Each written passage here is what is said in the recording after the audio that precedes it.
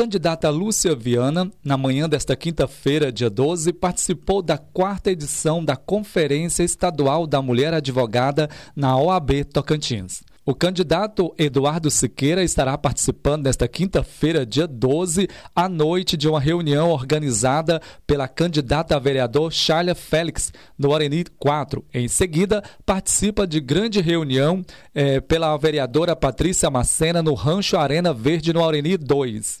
A candidata Jane de Valcari fez visita à empresa na manhã desta quinta-feira, dia 12. À noite, ela participa de grande reunião do candidato Raildo Miranda na 501 Sul. Logo em seguida, participa de uma reunião com o candidato a vereador Jefferson Zera e depois terá reunião do candidato a vereador Joanor da Limpeza. O candidato Júnior Gel, nesta quinta-feira, dia 12, teve reunião de campanha pela manhã, à tarde visita a região sul e à noite participa de grande reunião no Aureni 4.